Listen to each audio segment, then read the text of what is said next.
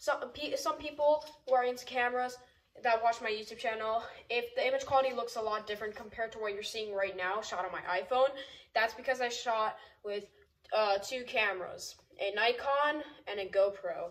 If any of you care. Besides, my image quality looks already kind of bad, but hopefully these two cameras, or maybe the, so I don't know whatever cameras I use for my YouTube videos, hopefully they look good so I can continue making these YouTube videos. Alright, with that said, let's get to the video.